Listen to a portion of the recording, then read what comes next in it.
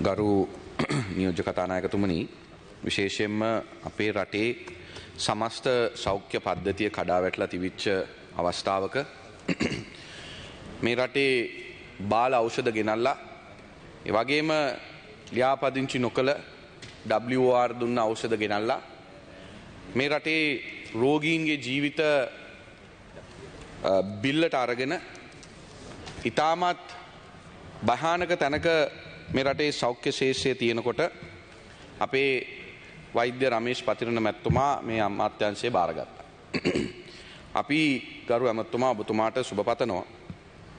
ඒ වගේම ඔබතුමත් රාජ්‍ය ඇමතිතුමියත් දෙන්නම වෛද්‍යවරු මේ ශ්‍රේෂ්‍රය පිළිබඳව අවබෝධයක් තියෙන. ඒ වගේම ගරු නියෝජ්‍ය කතානායකතුමනි මේ වර්තමාන සෞඛ්‍ය ඇමත්තුමා මේ වක්කීම් භාරගත්තහම අපි දැක්කා පුවත්පත්වලින් හදිසි මිලදී ගැනීම් නතර කරා කියලා ඒ වගේම යම් යම් දූෂිත නිලධාරීන්ව ඒ තනතුරුවලින් ඉවත් කරලා කටයුතු කරලා තිබෙනවා. ඒ වගේම ගරු ඇමොත්තුමා ඔබතුමාගේ පළවෙනි අයවැය. මං අර කලින් කිව්වා වගේ ලොකු අභියෝගයක් ඔබතුමාට තියෙන්නේ. මේ රටේ සමස්ත සෞඛ්‍ය ශේෂ්ත්‍රය කඩාන වැටෙනකොට අපි විපක්ෂයක් හැටියට විශේෂයෙන්ම සමගි ජන බලවේගය. අපි මේ රටේ අහිංසක දෙකෝටි විසිලක්ෂයක් එච්ච ජනතාවගේ සෞඛ්‍ය ගැන කල්පනා කරලා මහපාරට බැහැලා දසලක්ෂක අත්සං ගැනීමේ පෙත්සම ආරම්භ කරලා එවකට හිටපු සෞඛ්‍ය ඇමති කේලිය රබුක් කල්ල ඇමතිවරයාට විරුද්ධව විශ්වාස භංග යෝජනාවක් ගෙනල්ලා මේ ගරු සභාවට පැහැදිලි කරලා දුන්නා මේ රටේ සෞඛ්‍ය ශේෂය කොයි ආකාරයෙන්ද කඩාගෙන වැටුණේ. එදා ප්‍රොෆොපෝල් එන්නත ඒ වගේම ප්‍රෙඩ්නිසිලෝන් ඒ වගේම බියපි වැකෙන් එක ගෙනල්ලා මේ රටේ අහිංසක රෝගීන්ගේ ජීවිත කොයි ආකාරයෙන්ද බිලිගත්ත කියන එක අපි මේ ගරු සභාවට ඉදිරිපත් කළා. ඒ වගේම එදා ඇස්සන්ද වෙච්ච රෝගීන් අදටත් ගරු ඇමත්තුමා ඒ අයට සහනයක් ලැබිල නෑ. ඒ අයට වන්දි දෙනවා කියලා හිටපු ඇමතිවරය කිව්වා හැබැයි ලැබිච්ච වන්දියක් නෑ. නුවරිල් රෝහලේ රෝගීන් දාට දෙනෙක්ගේ ඇස් අන්ද වෙලා තිබෙනවා. ඒ අන්දවෙච්ච එක්තරා පුද්ගලයෙක් දිගින් දිගට මට දුරකතරයෙන් කතා කරනවා ඒ අයට සාධාරණත්වයක් ඉෂ්ට කරන්න කියලා. ඒ පුද්ගලයා රියදුරෙක් එයාට රියදුර රැකියාව කරගන්න විදිහක් නෑ පවුල්ට අඩත්තු කරන්න විදිහක් නෑ තමන්ගේ ඇස් අන්ද වෙලා. මම ඉල්ලීමක් කරන ඔබතුමාගේ. මේ අයවැයෙන් මුදල් වෙන් කරලා තියෙනවා මේ අයවැයෙන් අවශ්‍ය කරන මුදල් ටික තියෙනවා යම් මුදලක් මේ අහිංසක මිනිස්සු වෙනුවෙන් ලබා දෙන්න. එ මිනිසුල ජීවත්වෙන් විදියක් නෑ. තේ නිසා මට ඔබතුමාට අවශ්‍ය නං ඒ තොරතුරු ඒ පුද්ගලයකි ලබා දෙන්න පුළුවන්. ම ඉල්ලීමක් කරලා විපක්ෂනායකතුමත් එතුමත් එක කතා කර ඒ පවුලේ ඇත් එක කතා කර එය අය කොයි තරන් අසරණ වෙලා ඉන්නවාද කියන එක අපිට තහවුරුණ. මේ සෞඛ්‍ය ශේෂය ගත්තම ගරු නියෝජ්‍ය කතානායකතුමනි විශේෂයෙන්ම ඖෂධ එවගේම රෝහල් පද්ධතිය එවගේම සෞඛ්‍ය ශේෂය නිලධාරී. මේ කණ්ඩායම් තුන අපිට බෙදාවෙන් කරන්න පුළුවන්. විශේෂෙන්ම වෛද්‍යවරු හෙදියන් එවගේම සෞඛ්‍ය ශේෂය ඉන්න අනිකුත් සියලුම නිලධාරි. මේ සෞඛ්‍ය ශේෂය කඩාන වැටනකොට ඖෂධ වශයෙන් ගත්තහම බාල ඖෂධ ගෙනල්ලා මේ රටේ සෞඛ්‍ය ශේෂය කඩා වැටන වගේම රෝහල් පද්ධතිය කඩාන වැටන සෞඛ්‍ය ශේෂය නිලධාරීන්ගේ තමන් කරන රැකියාව හර්ද සාක්ෂයට එකඟව කරගන්න බැරි තත්වයට පත් වුණා. අපි ඖෂධ ගැන කතා කරනකොට අපේ රාජ්‍ය රෝහල්වල ඖෂධ වර්ග අටසිය පණහක් තිබිය යුතුයි. එයින් දෙසිය පනාකට ආසන්න ප්‍රමාණයක් හිඟයි කියන එක තමයි ගරු නියෝජ්‍ය කතානායකතුමනි අපිට වාර්තා වෙන්නේ. රාජ්‍ය ඖෂධ නීතිගත සංස්ථාව සහ දේශී ඖෂධ නිෂ්පාදන සමාගම් යටතේ තිබෙන වර්ග තිහකට ආසන්න ප්‍රමාණයක් හිඟතාවයක් තිබෙනවා කියන එක වාර්තා වෙනවා. දේශීය ආයතන සපයන ඖෂධ හැටකට පමණ ප්‍රමාණයක් හිඟතාවයක් තිබෙනවා කියන එක අපිට වාර්තා වෙනවා. ඒ වගේම ගරු නියෝජ කතානායකතුමනි ඖෂධ මිල න්‍යාමනය කරනකොට ක්‍රමවේද දෙකක් තිබෙනවා. ඖෂධ හැටකට ආසන්න ප්‍රමාණයක් තමයි ගැසට් මගින් න්‍යාමනය කරන්න. එහිදී අනිකුත් සියලුම ඖෂධ මිල න්‍යාමනය වන්නේ ලියාපදිංචිය ලබන අවස්ථාවේ එක් එක් ඖෂධ නියම කරන උපරීම සිල්ලර මිලට කියන එක අපි දන්න. එහිදී ගරු නියෝජ්‍ය කතානායකතුමනි පසුගිය වසරේ වසර කීපය තුළ අගෝස්තු දහනමෙන්ද දෙදස් විසියකෙත් ඒවගේම දෙදස් විසි දෙකේ මාර්තු පහළවත් ඒවගේම දෙදස් විසි දෙකේ අප්‍රේල් විසිනම්වෙන්දත් මිල වැඩි වුණ ඒක සියට අනු හතක් දක්වා වැඩිවෙලා තියෙනවා. ඒදී ඒ නැවත මිල අඩුවෙනකොට සියට පහළවයි දශම නමයක ප්‍රමණ ප්‍රමාණයක් තමයි ගරු නියෝජ්‍ය කතානායකතුමදි අඩුවෙලා තියෙන්. හැබැයි ගැසට් නොකරපු ඖෂධ වල මිල ඒත් අඩුවෙලා නෑ. ඔබ දන්නවා මං අර කලින්කෝ වගේ ගැසට් කරපු ඖෂධ ප්‍රමාණය තියෙන සියට ඖෂධ තියෙන හැටයි එතනින් එහාට තියෙන ඖෂධ සිය ගණනක් තිබෙනවා මෙහි මිල අඩුවෙලා නෑ හැබැයි අර මිල වැඩි වෙනකොට සියට අනුව හතකින් ගරු ඇමත්තුමා ඒ ප්‍රමාණෙත් වැඩි වුණා. තේ නිසා මේ රටේ සමස්ත ජනතාව මද ආර්ථික අර්බුදයට මුණදීලා ඉන්නකොට මේ අධික ඖෂධ මිලත් සමග ඒ අය මොනතරං අසීරුතාවට පත්වලා තියෙනවාද කියන එක තර්කයක් නෙමෙයි. ඒ වගේම රුපියල් මිලියන තුන්සිය හතලිස් නමයක වෛද්‍ය සැපයුම් ගියවසරේ විනාශ කරලා තියෙනවා. මේ රටේ අහිංසක බදුගෙවන ජනතාවගේ බදු මුදල් වලින් ගෙන්න්නපු මේ ඖෂධ නිසි ආකාරයට ගෙන්න්නපු ඖෂධ සමහර ඖෂධ නිසි ක්‍රමවේදයට ගෙන්නන් නැතුව වෙනත් ආකාරයෙන් ගෙනාපු ඖෂධ රුපියල් මිලියන තුන්සිය හතලිස් නමයක් මේ ආකාරයෙන් විනාශ කරන්නට එදිල තිබෙනවා. ඒ වගේම ගරු නියෝජ්‍ය කතානායකතුමනි රුපියල් මිලියන තිස් දෙකක පමණ ඖෂධ භාවිතයට ගන්නේ නැතුව. ඒවා ඉවත් කරලා තියෙනවා සමහර ඖෂධ රෝගීන්ට ලබා දෙන්න කටයුතු කරලා තිබෙනවා.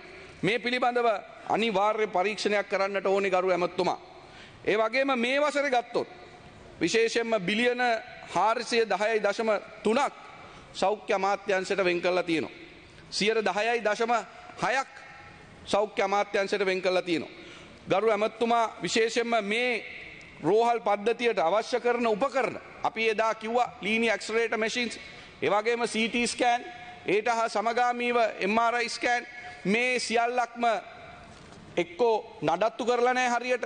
එහම නැත්ත ඒවට අවශ්‍ය කරන අංග උපාංගනෑ මේවා වලින් ජනතාවට ලැබෙන ප්‍රෝජනය ලැබෙන්නේ නෑ ඒ නිසා මේවට අවශ්‍ය කරන මුදල් වෙන් කරන්න කියලා ම ඔබතුමාන් ඉල්ලීමක් කරනවා.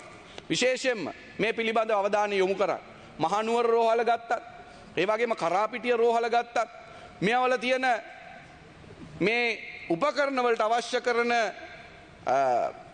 මුදල් ටික වෙන් කරලා විශේෂයෙන්ම රෝග නිශ්චය කරන්න ප්‍රතිකාර කරන්න අවශ්‍ය කරන පහසුකන්ටික ලබා දෙන්න කියන ඉල්ලීම කරනවා.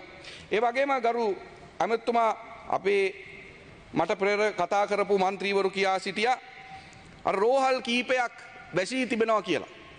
මම මේක උපුටගන්න කැමති විසි හත්තනිදා නොවම්බර් මාසේ දෙදස් විසිතුනේ ඩේලි මිර පුවත්පතේ 40 government hospitals shut down 100 on verge of closure an alarming number of approximately 40 government hospitals across island have shut down with an additional 100 on the verge of closure.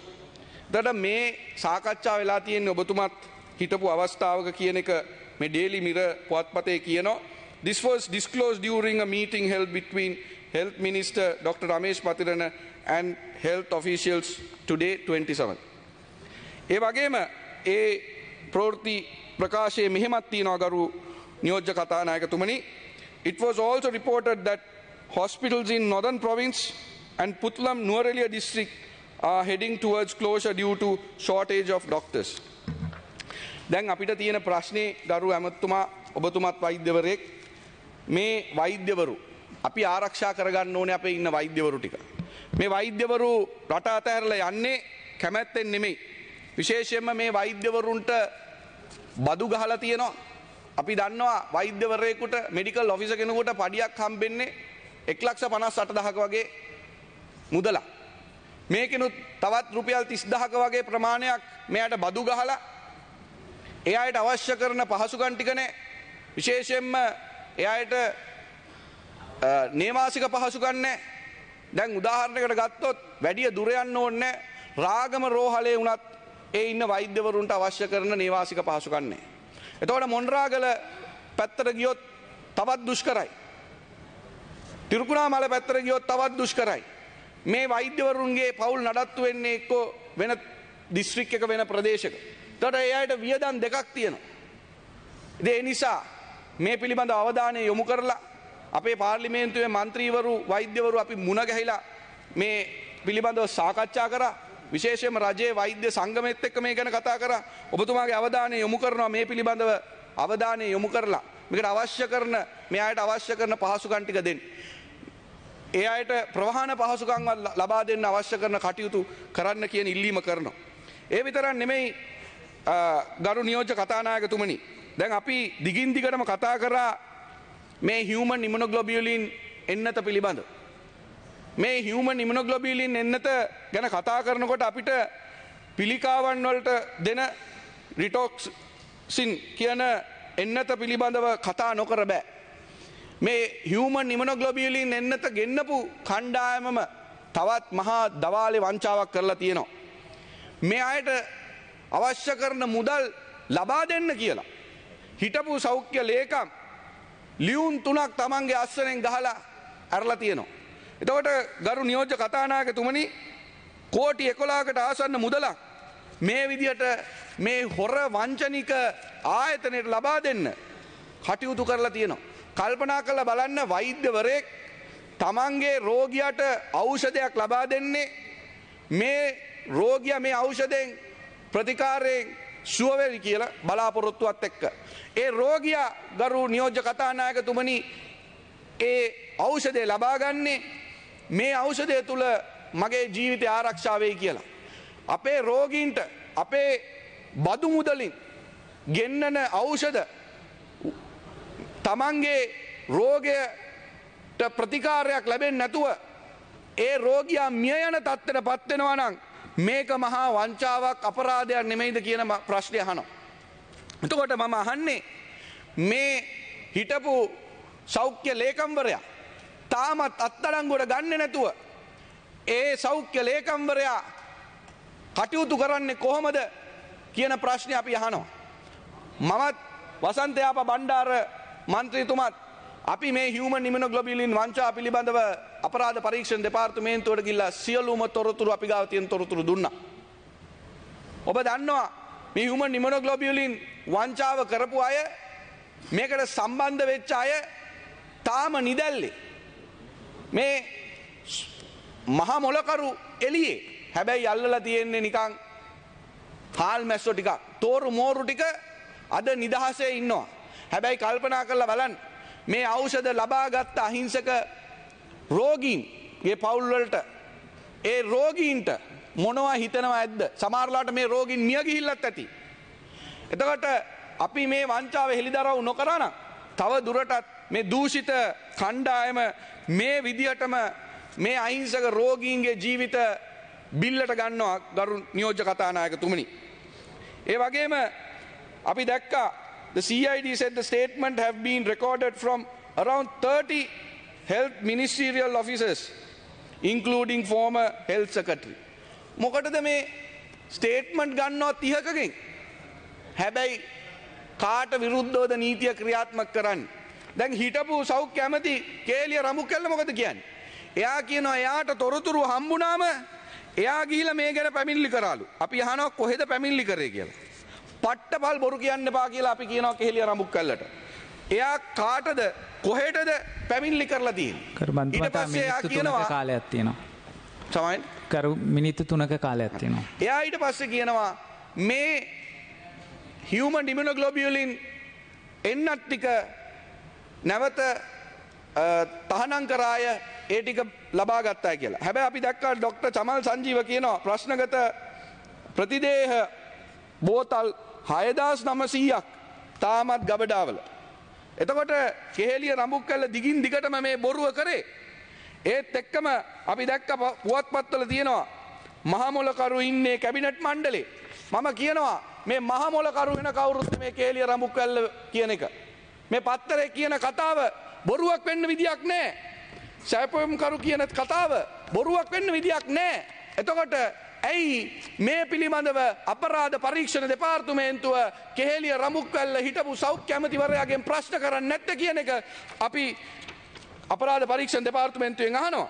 ඉතින් ගරු නියෝජ්‍ය කතානායකතුමනි විශේෂෙන්ම ගරු සෞඛ්‍ය ඇමත්තුමාගේ අවධානයට මං මේකත් යොමු කරනවා. විකිරණ තාක්ෂණ වේදීන් සිටින් ඕන එක්දස් එකසිය එකසීයක්. සේවේ සිටින්නේ හත්සීයයි. ඒ කියන්නේ සීයට හතලියක ප්‍රමාණයක්. දි මේ පිළිබඳව ගරු ඇමත්තුමා ඔබතුමාගේ අවධානය යොමු කරන්න. ඒ වගේම මේ මක්ගාව තියෙනවා ඖෂධ ලයිස්තුව අපේ රටේ දැන් මේ වෙලාවේ හිඟතාවයන් තිබෙන මං මේක සභාගත කරන ඔබතුමා ලැබෙන්න සලස්සනවා කරු ඇමත්තුමා.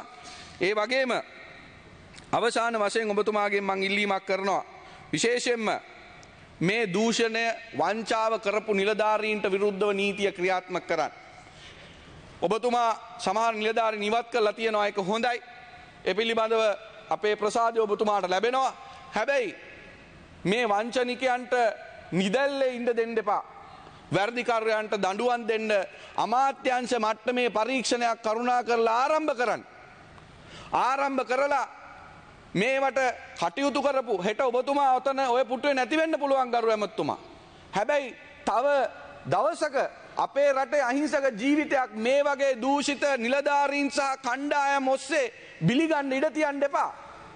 ඔබතුමාට ලැබිල තියෙන මේ අවස්ථාවෙන් උපරීම ප්‍රෝජන අපේ රටට ලබා දෙන්න කියන ඉල්ලීම කරන අතර අර ඇස්සන්ද වෙච්ච පවුල්වලට සාධාරණත්වයක් ඉෂ්ට කරන්න ඔබතුමා කටයුතු කරන්න කියන ඉල්ලීම කරමින් මගේ විනාඩියක කාලය වීරසුමන මන්ත්‍රීතුමාට ලබා දෙනවා කියන එක මං ප්‍රකාශ හොඳයි. කරු වීරසුමනවන්තවා අරු නියෝජක තානායකතුමනි මේ පාර්ලිමේන්තුවේ අද මේ සෞඛ්‍ය අමාත්‍යාංශයේ විවාදයේ පුරාවටම සෞඛ්‍ය ඇමතුමාට රාජ්‍ය ඇමතුමියට ඉතාමත් ගෞරවනීය ප්‍රශංසාවක් හිමි වුණා. ඒ ප්‍රශංසාව රැක ගැනීම ලොකු අභියෝගයක්. ඒ අභියෝගය තුළ මගේ විනාඩියක කාලය ඉල්ලා සිටියේ ඔබතුමා දන්න මානියෝජනකට මාතර දිස්ත්‍රික්කයේ දෙනියාය මැති වන කොටයි දෙනියායේ මූලික රෝහල අපි පළාත් සභාවේ ඉන්න වෙලාවේ බොහොම අමාරුයි මූලික රෝහලක් බවට පත් කළා අද යම් සේවාවක් කරලා යනවා විශේෂඥ වෛද්‍යවරුන් හතරක් පහක් ඉන්නවා අනිකුත් සේවාවන් පවත්වාගෙන යනවා. දෙනියාට ප්‍රධාන රෝහලක් හදන්න පහුගිය කාලේ යහපාලන රජයේ කාලේ ඇඳම් 100ක් 1000ක් කිව්වා 500ක් කිව්වා අන්තිමට 100ක් කිව්වා ඒ ප්‍රමුත් ඒ අවුරුදු 5ක් කාල සීමා තුළ ඉඩම අත්පත් කර ගැනීම හැරෙන්න කිසි දෙයක් කෙරුන්නේ නැහැ. නවතත් ඒ රෝහලක් හැදෙනවා කියන කාරණාව සඳහන් වෙනවා. නමුත් ඒ සඳහා කිසිදු ක්‍රියාමාර්ගයක් නැගරු ඇමතුමාගේ අවධානය යොමු කරන්නේ දැන් මේ රෝහල හැදෙනවයි කියපු නිසාවෙන් අර මූලික රෝහලේ කරන සංවර්ධන කටයුතුවත් කිසි දෙයක් ඉස්සරහට යන්නේ නැහැ. දැන් අලුත් රෝහලක් හැදුනත් තව අවුරුදු 5ක් 6ක් යනවා. ඒක නිසා පළාත් සභාව අපි ඉන්න වෙලාවේ අපි තීන්දුවක් ගත්ත ඉල්ලීමක් කරා අලුත් රෝහල හැදෙනකන් හරි මේ රෝහල නඩත්තු කරගෙන සංවර්ධනය කරගෙන යන්න කියලා. බරපතල ප්‍රශ්න ගොඩක්. ඒක නිසා ගරු ඇමතුමනි ඔබතුමා දකුණු පළාතේ කෙනෙක් විදියට ගරු ලේකම්තුමා ඉතාමත් හොඳින් දන්නා පාලිත මහේපාල මහත්මයා දෙනියායේ රෝහල් ගන්න එතුමා අපේ ප්‍රදේශයේ ඉතාමත් කීර්තිමත් වෛද්‍යවරයෙක් විදියට හිටපු නිසා මේ වෙලාවේදී මේ සම්බන්ධව යම් මැදිහත් වීමක් කළ අලුත් රෝහල හදන්න මැදිහත් වෙන්න ඒ වගේම මේ දෙනියාය මූලික රෝහලේ තියෙන මූලික ප්‍රශ්න ටික විසඳන්න ඒක පළාත් සභා රෝහලක් බව ඇත්ත. ඔබතුමාගේ අවධානය පළාත් සභාවත් සමග එකතු වෙලා කරන්න කියන ගෞරවණීය ඉල්ලීම මේ මොහොතේ කරනවා. හොඳයි. බොහොම ස්තුතියි කරු රාජ්‍ය මහත්තුමා